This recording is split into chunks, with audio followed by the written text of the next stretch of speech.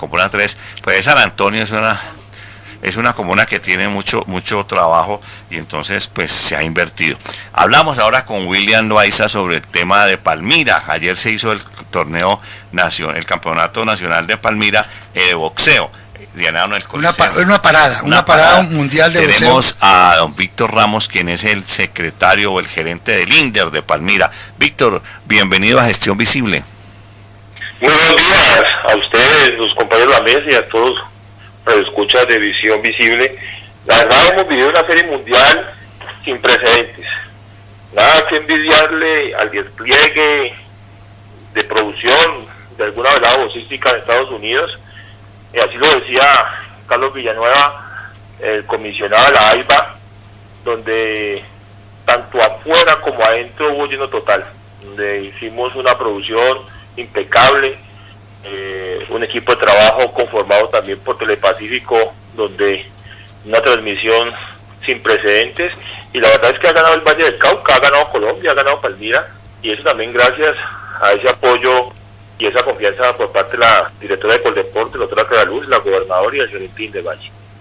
Bueno, muy importante el apoyo que recibió el municipio de Palmira de los entes nacionales y departamentales y sobre todo lo que hablaba eh, el tema de Telepacífico, la transmisión fue una transmisión, Víctor, a nivel de una, de una transmisión internacionalísima, ¿no?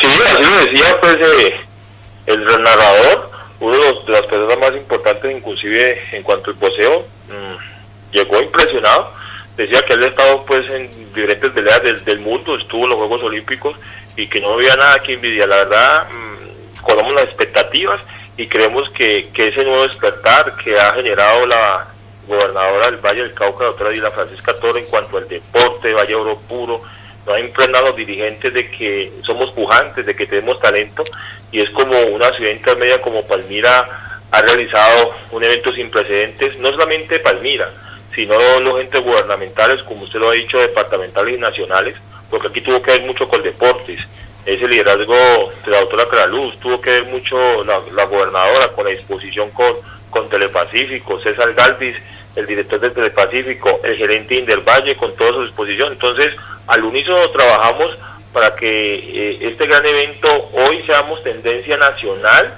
y aparte mundial, porque la IVA ha ratificado Palmira que si, si Palmira quiere nuevamente volver a realizar este evento, pues tiene todo el aval por la producción que se ha hecho impecable. Diego, te habla William Loaiza Ruiz de Palmira. ¿Sabes quién soy, no? Víctor. Sí, sí, sí. Papito, te habla William Loaiza. Cuéntanos una cosita, Víctor. ¿Quiénes ganaron? Quedamos 4-1, ¿no? ¿Quiénes fueron los ganadores por Colombia? Sí, ganó Romero, ganó Ávila. Los otros dos nombres ganó Mina y y eh, bueno, no me acuerdo, Prado, no sé, eh, donde estos deportistas pues en sus peleas anteriores habían perdido, Colombia había perdido 3-2 y creíamos que era posible mm, retomar y aparte eso me decía el presidente de la federación que, habían contratado a un coreano porque creía que había desempate pero ese fervor de esas más de 10 mil personas que estuvieron en el Coliseo Ramón Elías López Mazuera gritando cada nombre de estos boceadores y al unísono Colombia hicieron pues de que estos se impregnaran. Hay un mensaje que manda el Momo Romero de que gracias Palmira por, por ese apoyo y eso es lo que un atleta decía él porque se impregnó de ese entusiasmo y esa buena vibra para que esos deportistas pudieran lanzarnos um, al 4-1. La verdad es que todos ganamos. Mm, ganó el Valle del Cauca, ganó Colombia, ganó Palmira. La verdad sin precedentes, estoy muy contento y también el alcalde lo manifestaba, el alcalde de Zamborí, porque si no fuera avalado el alcalde, pues no hubiéramos tenido esta serie mundial con los pantalones, las botas puestas como se dice en el árbol popular, no escatimamos esfuerzo alguno para la producción y creemos que ahí están los resultados, eh, visión visible. Bueno, eh, Víctor, muy una felicitación para usted, para el alcalde Jairo Ortega Zamboní, pues que es la primera autoridad de Palmira, pero usted es el alma y nervio de ese, de ese torneo. Esperemos que nuevamente Palmira sea sede de la próxima parada para que, así como respondió ahora, vuelva a responder. Y eh, como usted lo dice, agradecerle a Clara Luz Roldán, a la gobernadora, a César Garvin de Telepacífico y sobre todo a la gente de Palmira y sus alrededores que eh, tuvo a bien llenar el coliseo. Sí, muchas gracias a ustedes. Bueno, muchísimas gracias. 11, 21 minutos. ¿Quiere que contemos cómo fue anoche? Claro, contemos, seguimos con Buenaventura. Mire esto tan impresionante.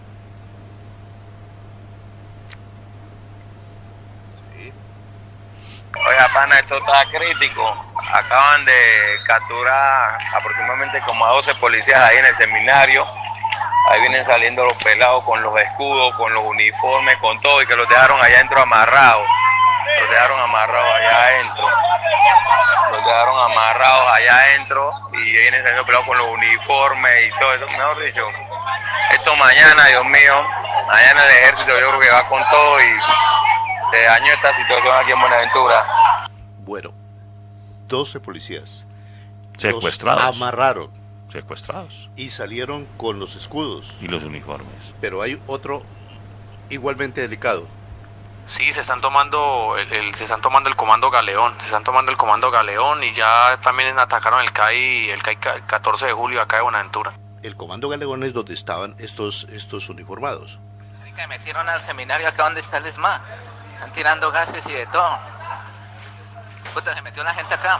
Eh, eh, gravísimo este cuento.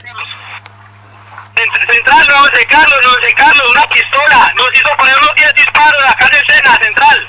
Acá, acá, acá, Central. José Carlos. Cent- Central, no José Carlos, no José Carlos, una pistola. Nos hizo poner unos 10 disparos acá en escena, Central. Acá, acá, acá, Central. Como avisado que me están disparando, me están disparando. Llega ya. ¿No escuchan los 911? Central, ¿No los escuchan? 60. Nosotros llegamos por lo menos hasta el piñal, ¿no? Hermano, están disparando desde la boca calle ahí entrando al, al continente. Boca calle. Mano derecha, mano derecha entrando de continente ahí la iba de Carlos, ahí por ahí boca calle. ¿Cuál boca calle es esa vez? Boca calle entrando es la que da para la cancha sintética. Fue en la juega, en la juega, al frente del galeón, al frente del galeón donde hay una cancha sintética, que hay un man que tiene un fusil, en la juega, en la juega. Conflicto acá en, en- en Buenaventura, está bastante alterado el orden público acá entre la policía y los civiles. Ya.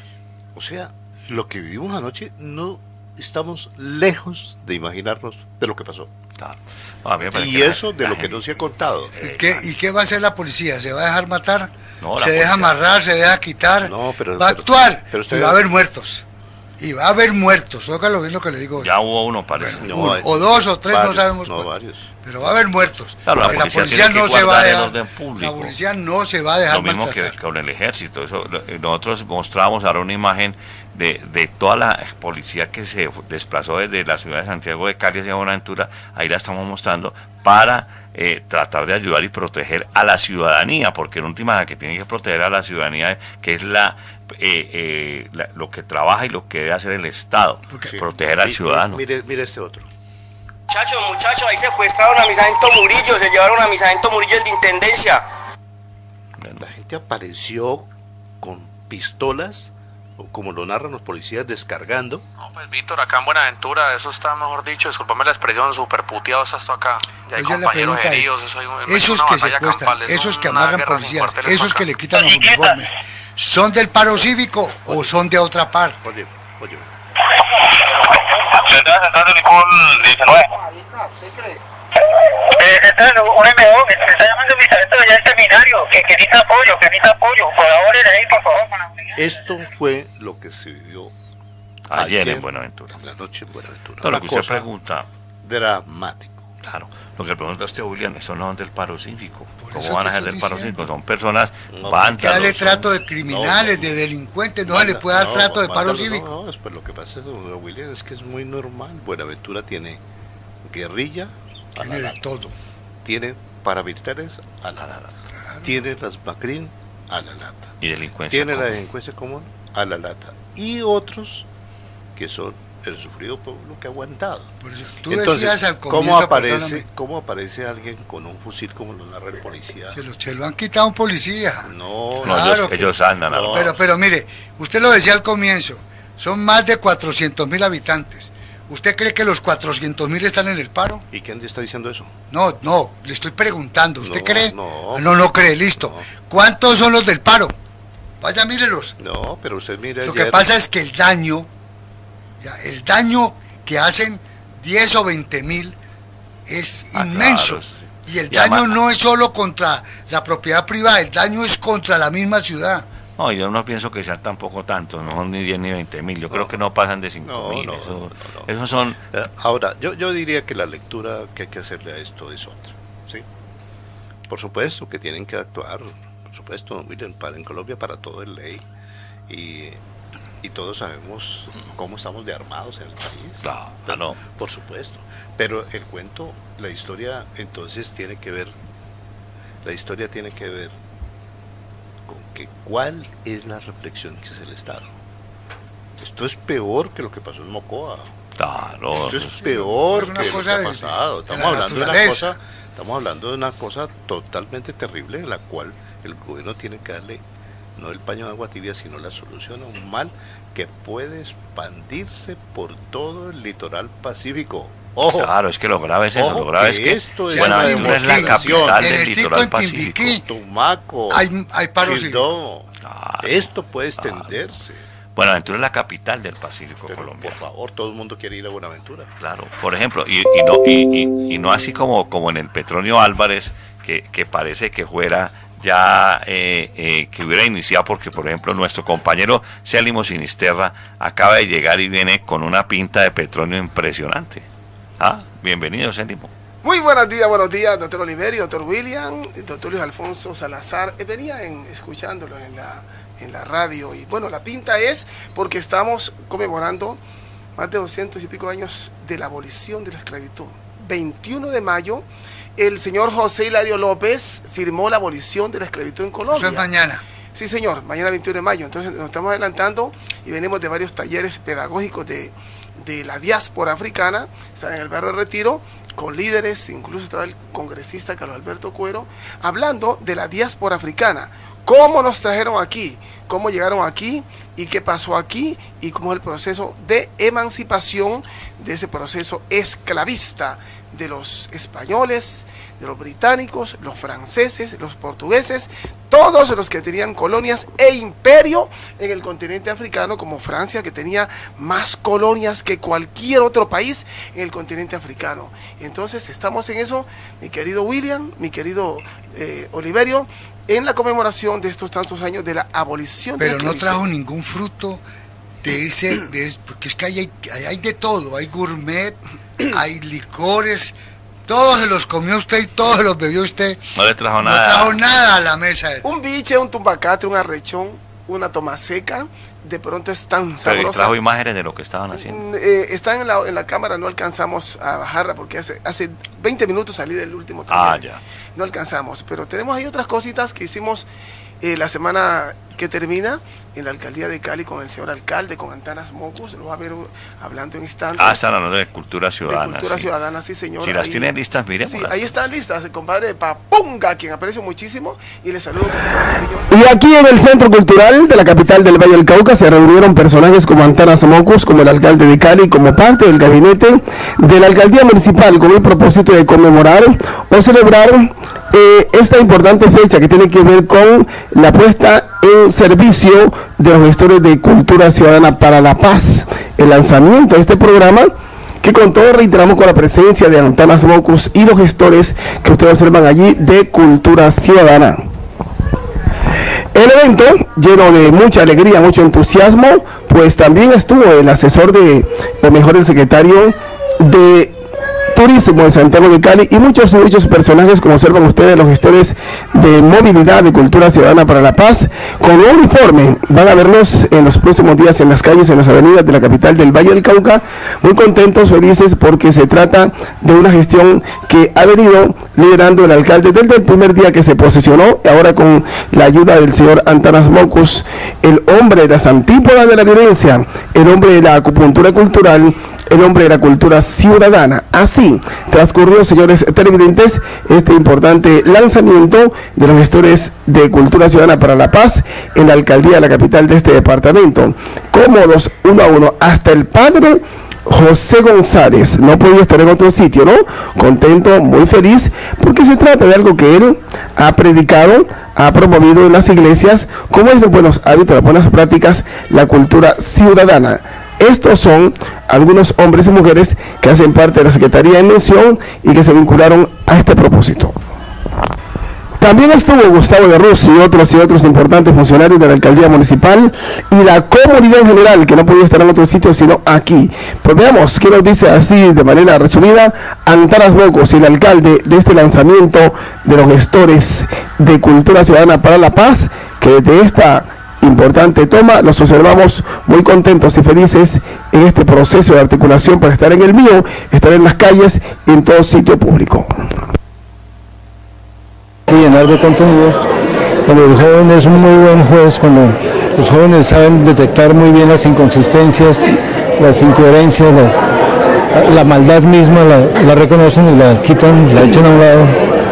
Entonces, eh, todas las virtudes de los jóvenes hay que generar condiciones para que se aprovechen. Somos buenos, somos mejores que lo que creíamos por lo menos.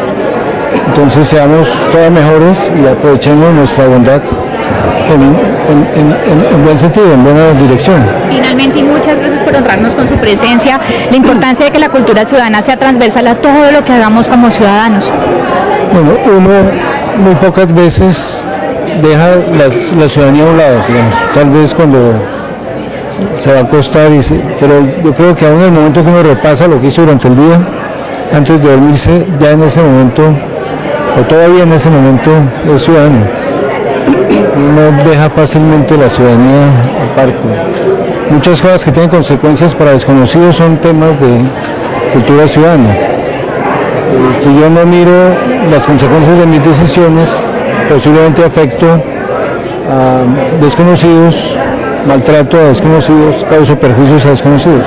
Pues tener en cuenta siempre al otro, esté donde esté, es un paso muy importante en la dirección de una sociedad más justa y más feliz. O sea, si no es justo, uno es más feliz. Una colaboración importantísima, en la medida en que ellos nos han creído en nosotros y nos están dando la oportunidad de poder sacar este proyecto adelante, ¿verdad? que estamos inmensamente agradecidos por la Oficina de Reintegración en Colombia. Mil y mil gracias. Alcalde, importante la cultura ciudadana para, para, todos los caleños. Por supuesto, en la medida en que le jalemos a la cultura ciudadana tendremos desarrollo, tendremos inclusión y tendremos oportunidades para todo el mundo. ¿Tenés en la mente cuántos jóvenes en la inclusión en el tema de cultura ciudadana? Yo aspiro este año a tratar de, llegar a 3.000. ¿Y tenemos?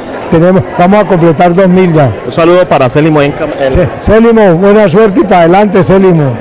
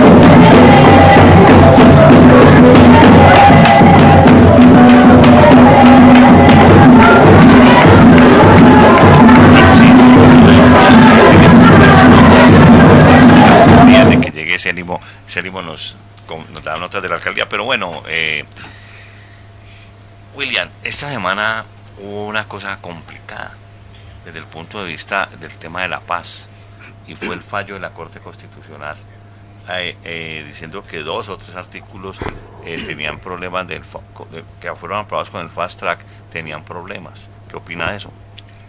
A ver, yo pienso que lo que hizo la Corte fue blindar más bien para que el presidente de la República no tenga ese poder omnímodo de hacer lo que él quiere, sino que todo debe tramitarse en el Congreso de la República.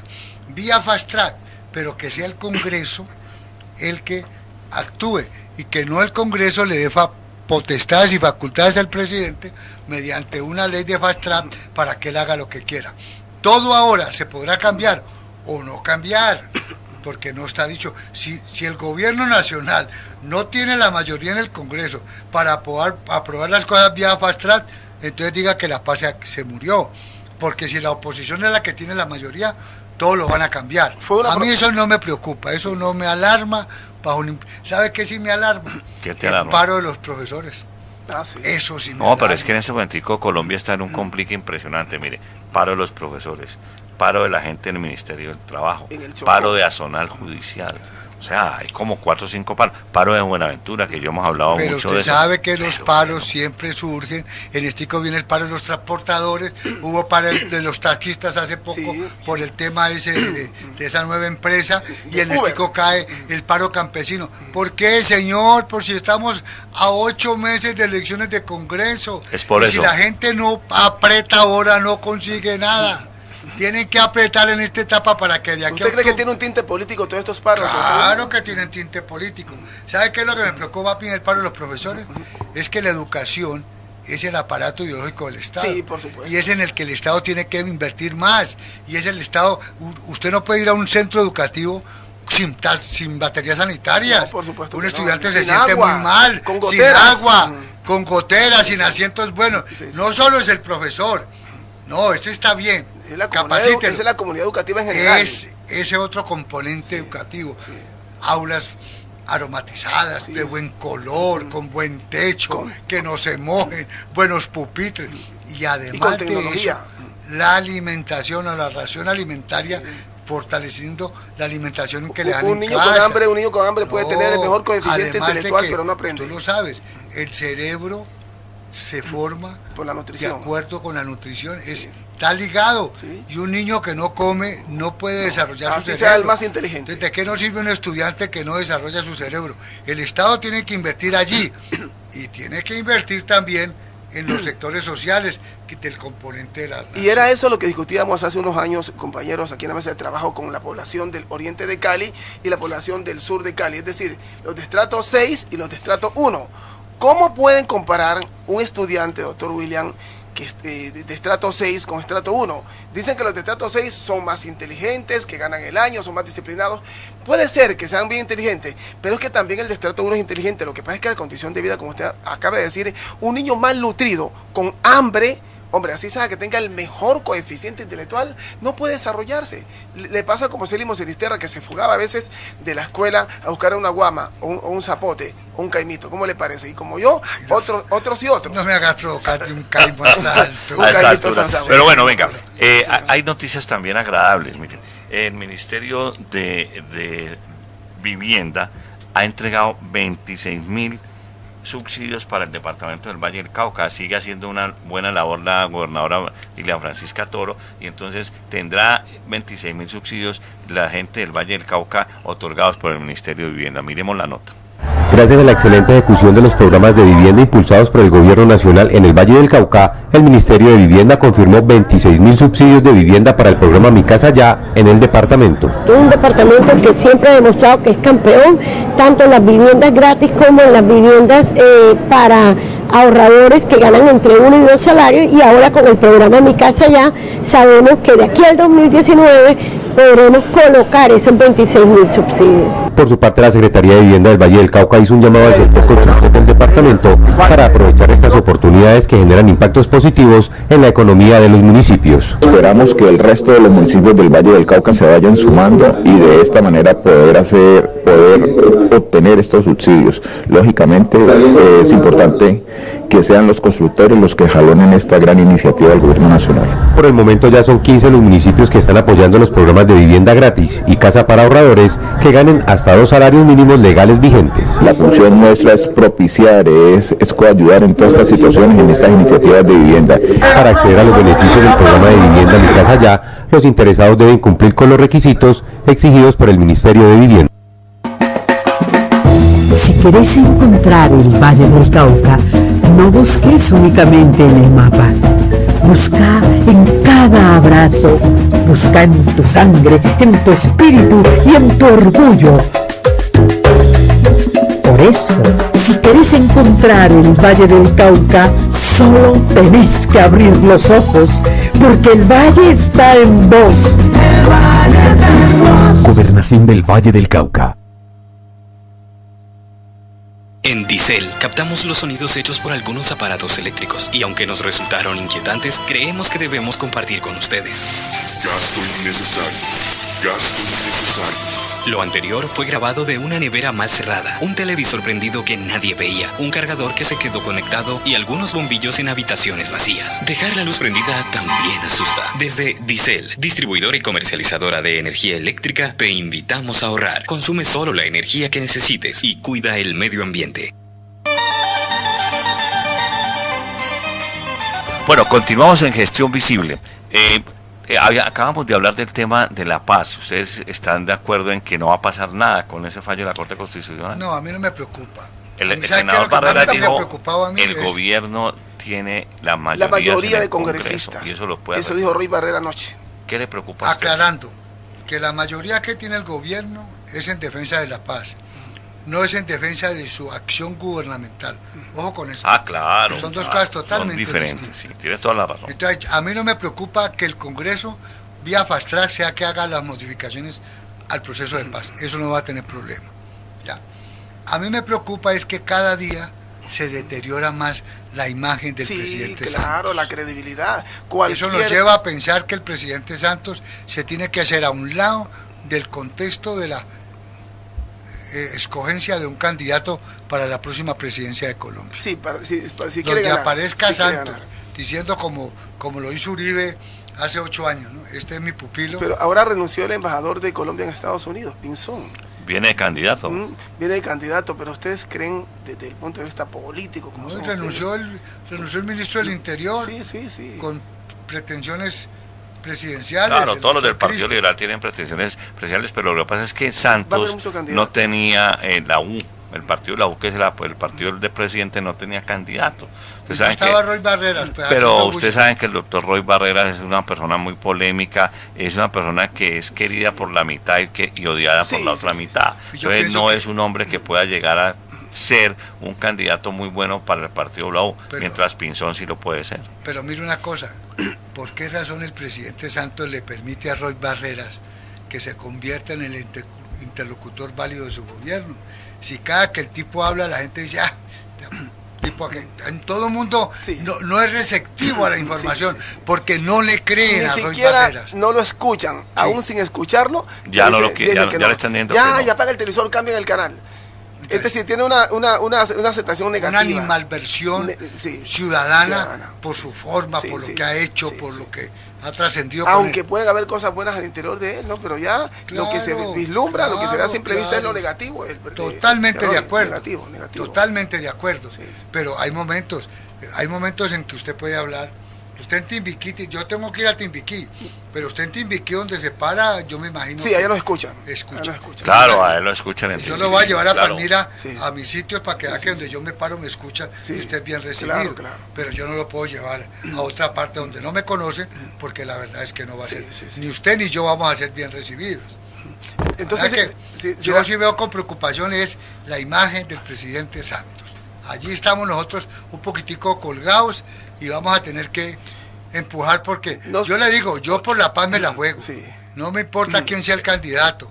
Después de que tenga como misión exclusiva defender la paz, bienvenido. Ahí estamos. No se repetiría lo del presidente Uribe con Juan Manuel Santos. Juan Manuel Santos no engranaría, es decir, no sacaría presidente No, en este momento. No tiene. No debe. El presidente con menos aceptación en los últimos 30 años es, ha esa- sido. No, ha sido el doctor, presidente. Pero mírese, y en la historia, dentro de años, cuando nosotros muramos, Santos va a ser el presidente más recordado por haber alcanzado la paz. bueno, Eso, sí, la gente... Son dos cosas, so- so- exacto, so- eh, eh, son dos cosas totalmente contradictorias. Él en este momentico será, será, como lo dice William, el hombre del futuro cuando la paz se consolide, pero hoy Hoy sí, está- es el hombre mal. más odiado, Odiado, que existe odiado. en No Colombia. lo quieren los maestros, no lo quiere el Poder Judicial, Nadie, no, no lo lo quiere quieren nadie. los trabajadores. Especialmente los en Buenaventura y en el Chocó. los, de- los afrocolombianos como que tampoco lo quieren mucho, pero que tiene que hacerse a un lado. Yo-. Deja que el partido de la U, por eso trabajo a Pinzón, ojalá que le suene la flauta. El hombre tiene talante, Vamos a ver, pero no tiene vamos a ver un, un tema de- del departamento y es la seguridad que se va a reforzar en el sector productivo del centro del departamento y después miraremos imágenes de Buenaventura que es la noticia del día. La gobernadora del Valle, Irian Francisca Toro, después de una reunión sostenida con ganaderos, agricultores y empresarios del sector rural del centro y norte del Valle, dispuso del acompañamiento del ejército en esta zona. Después de lo que sucedió en Puerto Frazadas, en la vía hacia Barragán, de Tuluá hacia Barragán, pues hemos tenido mucha preocupación, hemos hablado con la, con la comunidad de ese sector, estuvimos en reunión con el coronel Blanco, que es el comandante de la tercera brigada, y bueno, se va a intensificar los operativos allá en ese, en ese sitio, en toda la, la, la cordillera, y eso pues le va a dar una, una mayor percepción de seguridad y mayor tranquilidad a los habitantes. La Fundación para el Desarrollo Social de la Zona Rural de los municipios de Palmira, El Cerrito, Buga, Tuluá y Sevilla manifestó su preocupación por algunos hechos que los vienen afectando en materia de seguridad. En la comunidad Barragán y Santa Lucía son aproximadamente unos 5.000 campesinos. Hemos recibido una muy buena acogida y en el tema de seguridad también la, la gobernadora nos ha anunciado que va a hacer una inversión importante en unos, para dotar al ejército de unos equipos y así fortalecer pues más el tema de vigilancia allá en la vía para disminuir el- el- los impactos que han habido últimamente allá en temas de hurto, de extorsión y otros temas. Uno de los objetivos de la Fundación es fortalecer la cadena productiva del ganado en esta zona, para lo que necesitan mejores condiciones de seguridad en veredas y vías por donde movilizan su producción. Hola, soy Belisario Marín y quiero invitarles a conocer a Caño Cristales, el río más hermoso del mundo llamado de siete colores, aprovechando los vuelos directos en la ruta Cali-La Macarena-Cali, que se inician el 16 de junio y terminan el 10 de noviembre. Con la línea aérea ADA, vuelos directos Cali-La Macarena-Cali, cinco días por solo 1.590.000 pesos, incluido en este valor los tiquetes aéreos, el alojamiento, toda alimentación, los paseos y mucho más. Informes en nuestra agencia de viajes 513-7777 para que usted conozca desde Cali, directo a la Macarena, el río más hermoso del mundo. Si querés encontrar el Valle del Cauca, no busques únicamente en el mapa. Busca en cada abrazo, busca en tu sangre, en tu espíritu y en tu orgullo. Por eso, si querés encontrar el Valle del Cauca, solo tenés que abrir los ojos, porque el valle está en vos. Gobernación del Valle del Cauca.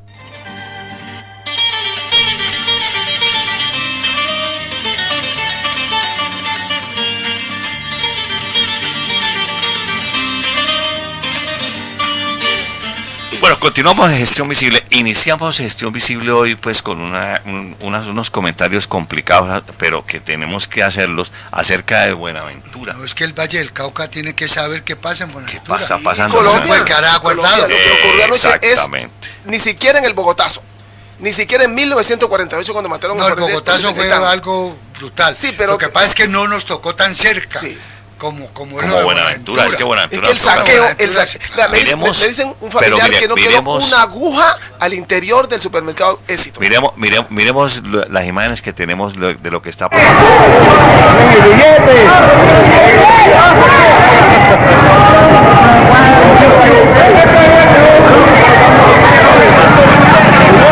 Miremos la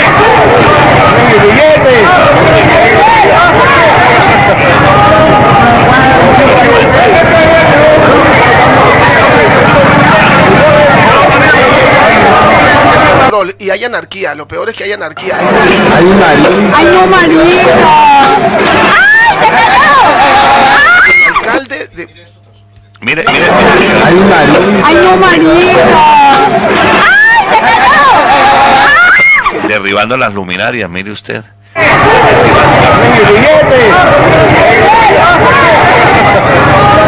Bueno, aquí te lo ven.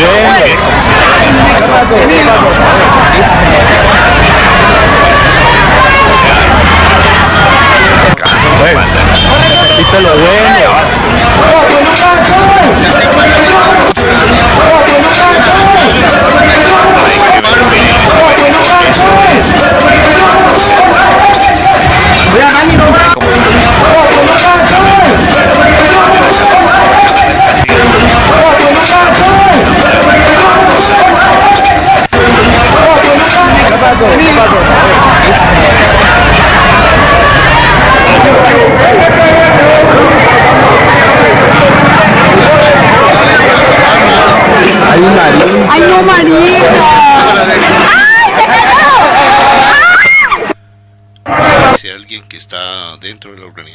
Pasa de los 200 ¡No, Marita!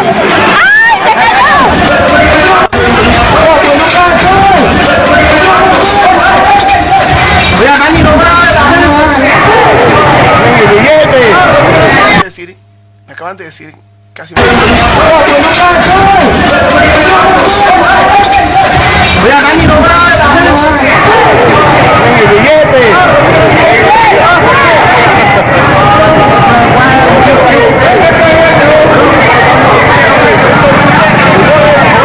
Bueno, aquí te lo ven.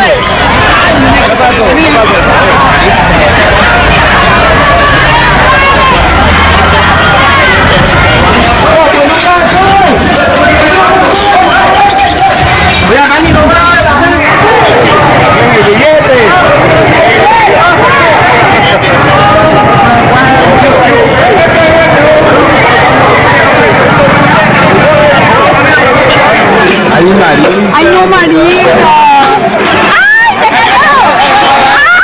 las pérdidas de ayer. de pesos. Solo la 14. Entonces, Bueno, aquí te lo ven. Gran pregunta, con esa visión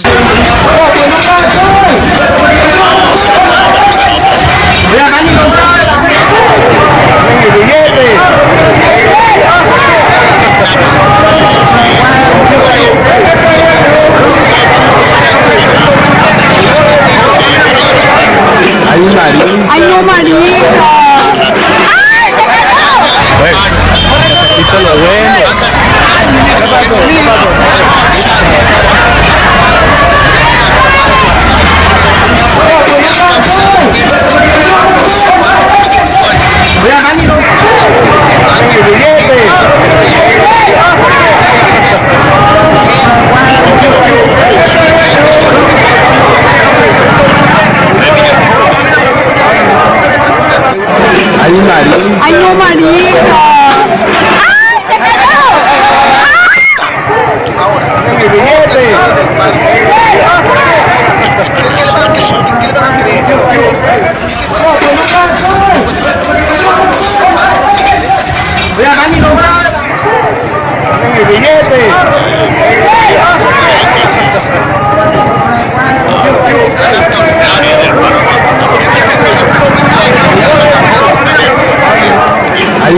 momento, en un momento, porque eso fue fraccionado. Bueno. ¿Qué pasó? ¿Qué pasó?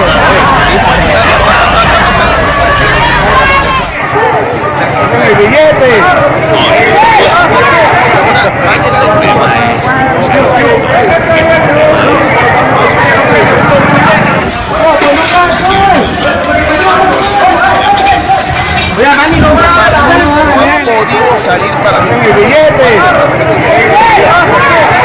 Entonces se ha parado todo el aparato. Hay un marido. ¡Ay, no, Marita! Bueno, lo ven. ¿Qué pasó?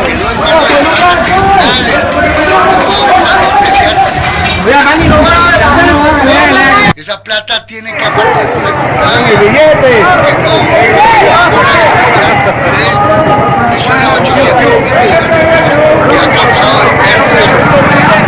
Ay, Ay, no, María. ¡Ay, te cayó! No podemos terminar. Ah, que caen en el aire. Eso de...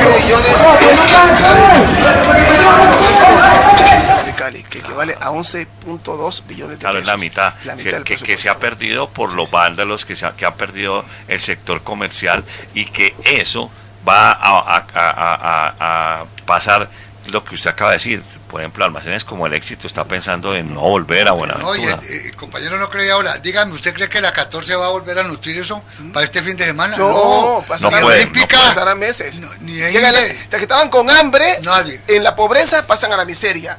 ¿Cuántos empleados? Van a quedar sin trabajo. Lo acabo de decir, económico, social y cultural. Van a quedar el muchos impacto sin trabajo. económico, porque en la 14, en el éxito, en Olímpica, yo le calculo No que por lo menos mil personas trabajaban. Por eso, Bueno, esas personas van a quedar sin sin trabajo so- muchos días, ¿no? Sí, muchos días. mientras el seguro paga, Sí, sí, mientras vuelven a arreglarlo. O sea, el, el- el problema social que va a tener Buenaventura es que- gravísimo. enorme. Imagínense que invadieron las tiendas de los barcos y las saquearon. santo. Yo me pregunto, ¿se comen eso entre fin de semana? Ahora. Y si no se el surte, ¿con qué van a comer la semana que nos viene? parecemos a Venezuela. Claro. Porque la gente por comer cualquier cosa, Cualquier cosa. debe hacer. Cosas. Hacemos Bueno, de- sí, sí. hemos llegado a otro, al final de otra emisión de Gestión Visible, programa que ustedes ven a través de Multicanal Televisión, en frecuencia 8 de Protelco, a través de la frecuencia 6 de Telecable, por www.multicanaltelevisión.com y oyen aquí en la 1500 por la red sonora. Célimo, muchas gracias por haber venido. Gracias a usted, doctor Oliverio, doctor William. Aquí estamos como de costumbre, un tanto tarde, pero lo dije al inicio, tan pronto llegué, compromisos académicos, porque estamos en el mes de la afrocolombianidad y nos corresponde ilustrar quién fue Benco Biojó, quién fue Gaspar Yanga, quién fue Bayano, quiénes fueron los próceres de la independencia y también de la abolición de la esclavitud. William, gracias como siempre por usted ya es dueño de este programa también. No, yo, yo muy complacido de estar con todos ustedes aquí, pero yo estoy molesto con el compañero Célimo. ¿Por qué? Como no, pues comió a gran mantel, bebió, Allá no y comía. no trajo nada. Ah, no, no, se él no- quedó él- con él- todo. él no Decimos trae nada. No sea lengua de lija, con todo cariño, doctor Bueno, hasta el próximo sábado, Gestión Visible. abrazo.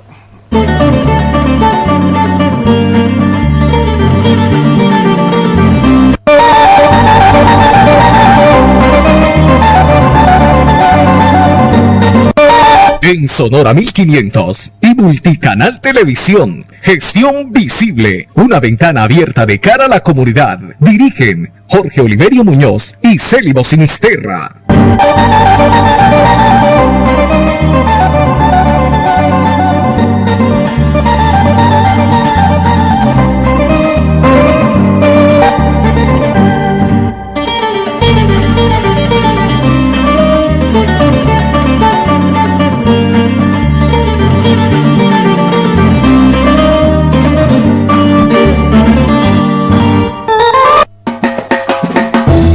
Querés encontrar el Valle del Cauca, no busques únicamente en el mapa. Busca en cada abrazo, busca en tu sangre, en tu espíritu y en tu orgullo. Por eso, si querés encontrar el Valle del Cauca, solo tenés que abrir los ojos, porque el valle está en vos.